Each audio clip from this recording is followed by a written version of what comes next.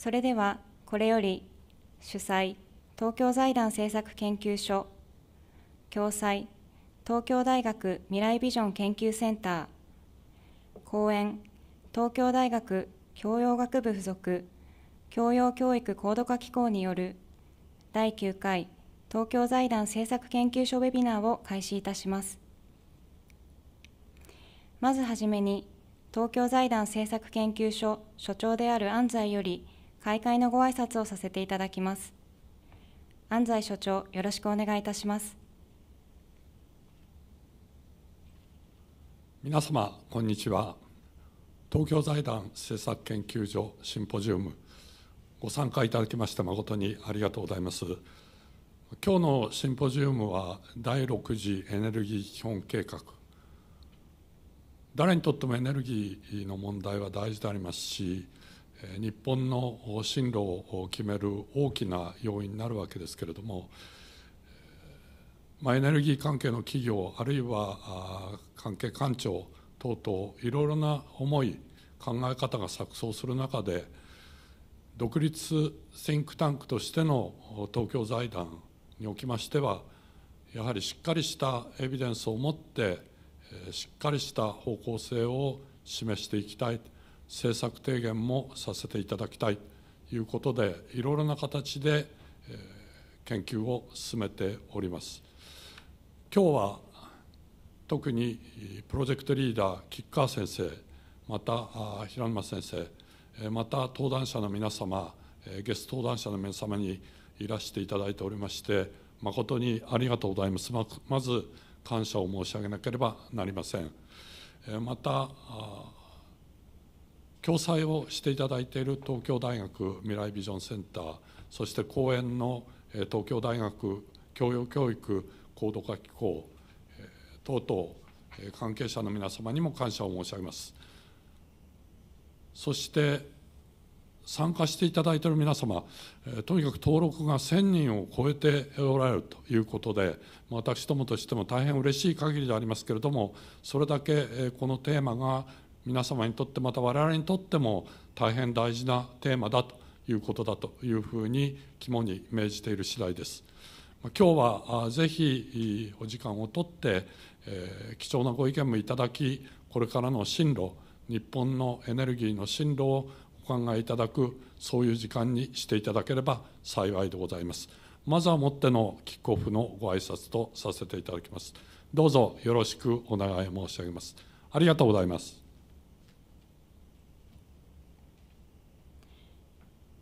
安西所長、ありがとうございました。それでは、ここからは本日のモデレーターを務めてくださいます、東京財団政策研究所平沼研究員に進行をお願いいたします。平沼研究員、どうぞよろしくお願いいたします。よろしくお願いいたします。本日モデレーターを務めさせていただきます東京財団政策研究所加速するエネルギー転換と日本の対応プロジェクトの共同研究プロジェクトリーダーをしております研究員の平沼です。本ウェビナーですね加速するエネルギー転換と日本の対応研究プロジェクトのメンバーそしてゲスト合同談者をお迎えしてですね第6次エネルギー基本計画をめぐって30年45から50%削減50年カーボンニュートラルに必要な施策とはというテーマでオンラインシンポジウムを開催するものです。えー、さてあの皆さんご存知の通り菅総理の2050年カーボンニュートラルの宣言により再生可能エネルギーのさらなる普及拡大は必須事項となっております、えー、現在はですねこの日本のエネルギー政策の大方針となる、えー、第6次エネルギー基本計画、次期エネルギー基本計画の策定に向けた重要な時期でありますが、政府の掲げている温室効果ガス削減目標は、えー、大変野心的な目標でございます。まあ、あのこの目標を実現するために、えーまあ、この再生可能エネルギーの普及をはじめですね、何が必要となるでしょうかと。えー、今まさにこのエネルギー基本計画の策定の議論が進められているというこのタイミングを捉えてですね、え限られた時間ではございますが、え本シンポジウムで皆様と共に、え考察したいと思います。本日はこれより、え15時まで、え発信をしていく予定です。大変ありがたくありがたいことにですね、もうすでにあの多くの皆様から事前のご質問をいただいております。本シンポジウム中もですね、随時ご質問を受け付けさせていただきます。ご質問にはですね、可能な限りメンバーの発表やですね、パネルディスカッションの中でご回答させていただきたいと思いますが、お答えきれなかった際は何卒ご容赦いただければと思います。それではあの本日のウェビナーに登壇していただくプロジェクトメンバーおよびゲストメンスピーカーを報告順にご紹介させていただきたいと思います。まず私と共同でプロジェクトリーダーをお務めいただいております国際大学副学長国際経営学研究科教授吉川武雄さんです。よろしくお願いいたします。吉川です。続きまして、えー、東京大学大学院総合文化研究科広域科学専攻教授の瀬川博さんです。瀬川です。どうぞよろしくお願いいたします。続きまして東京財団政策研究所博士研究員の杉本幸太さんです。よろしくお願いします。そして、えー、ブルームバーグニューエナジーファイナンス日本韓国分析部門長の、えー、黒崎美穂さんです。よろしくお願いいたします。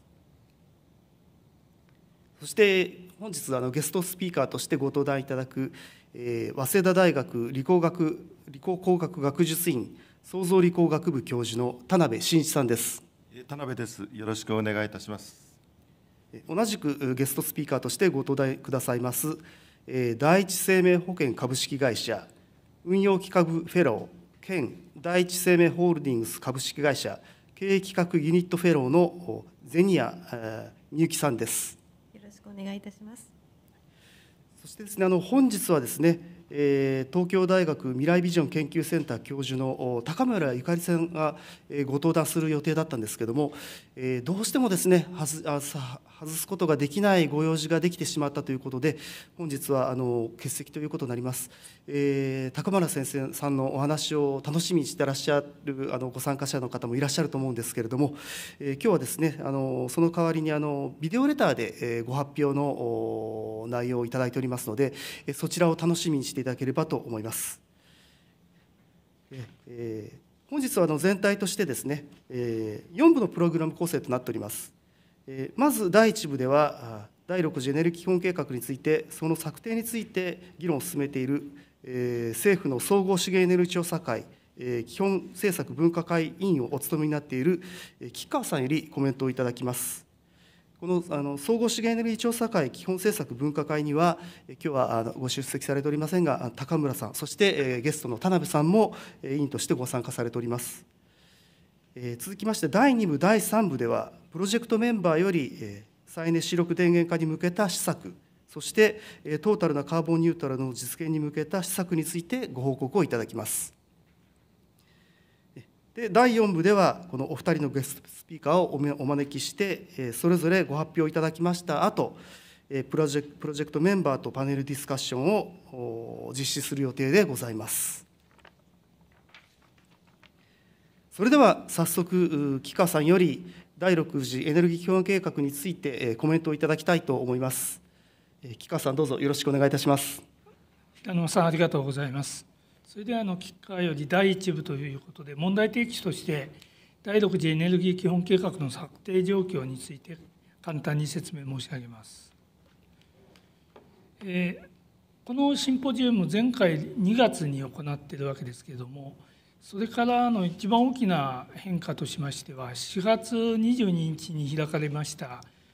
アメリカのバイデン大統領主催の気候サミットにおいてですね日本の菅総理大臣が新しい NDC、まあ、NDC っていうのは Nationally Determined Contribution ということで国があの責任を持って地球温暖化対策にコミットする目標ということなんですけども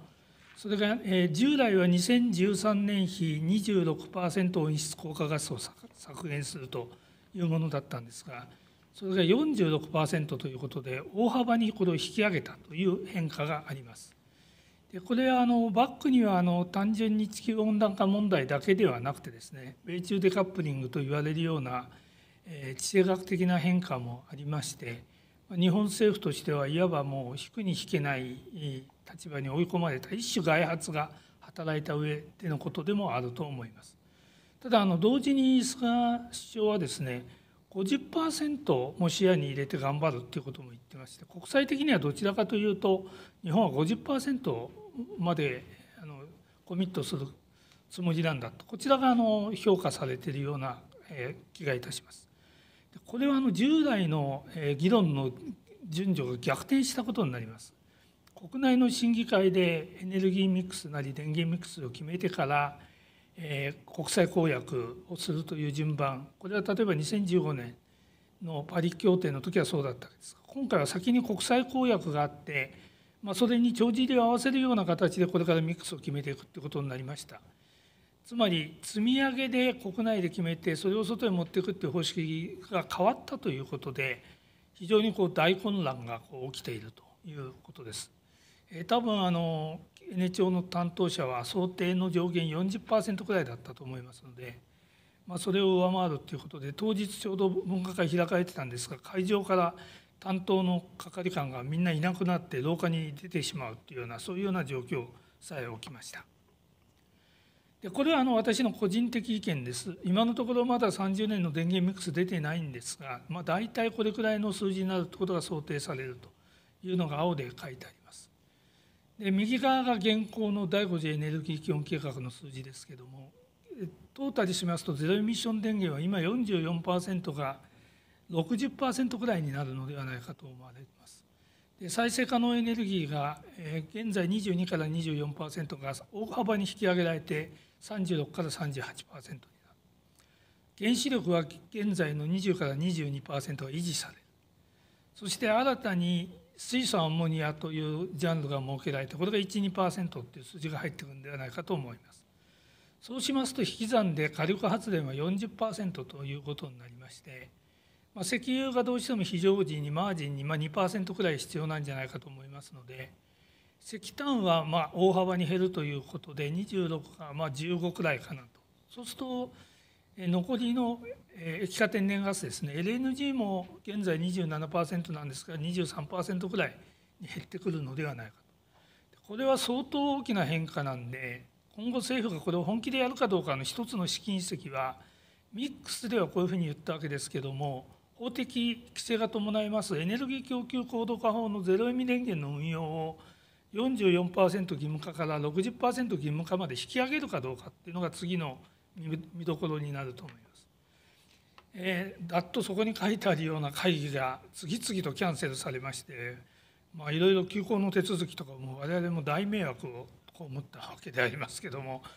えー、久しぶりに6月30日に開かれた会合でもまあミクスの案はなくて現状一番早くて7月21日あたりにミクスの案の提示があるのではないかというふうに言われております。でこういうその新しい方式で決めるということで4つくらい今日議論していきたい問題点が生じます。本当に再エネ電源を30年で36から38%にすることは実現可能なのかどうか。それから原子力が本当に20から22%も実現できるのかと。そして火力や化石燃料の比率を下げるわけですけどもそうするとエネルギーセキュリティだとかエネルギーコストだとか天然ガスの場合には地球温暖化削減にも貢献しますのでそういう面で 3E の確保は大丈夫なのかそして今日田辺先生来ておられますが総需要も抑制するっていう方向なんですけどもそうなってくると日本の産業の未来は大丈夫なのかこういうようなま問題があって今難航しているということだと思いますのでこれらの論点を議論していきたいと思います。なんかそう申しますといかにもその46%から50%と決めた新しい NDC が悪いように見えるわけですが対極的に言いますとこれはあのパリ協定の1.5度 C シナリオと整合的でありましてようやく日本が1周遅れの状態から国際グローバルスタンダードの目標に追いついたっていうのが状態でありまして悪いのは NDC の方ではなくて今までの第5次エネルギー基本計画が悪いと。そのツケが回ってくる。多分その再エネとか原子力が未達成の分結局火力を回してその分はあの排出権を買って達成とかっていう京都議定書と同じような国庫の流出が起きる可能性非常に高いわけですけどそうなったとしてもそれは NDC が悪いのではなくて過去のエネルギー政策のツケだったっていうところこれを見とく必要があると思います。まあ、あのもし18年の時点で30%って再生可能エネルギーを作っていれば今頃は北沖に3ギガワットぐらい洋上風力があって36から38%っていう目標もそんなに無茶ではないってことになったと思うんですが現状はかなり厳しくなっています。問いは日本はディープインパクトになれるかと。1周遅れからスタートしてちょっと30年のゴールは近すぎんで私は不可能じゃないかと思いますが50年のゴールならば日本はあのトップに追いついてディープインパクトになれるのではないかとこういうふうに思っています。以上です。木川さんありがとうございました。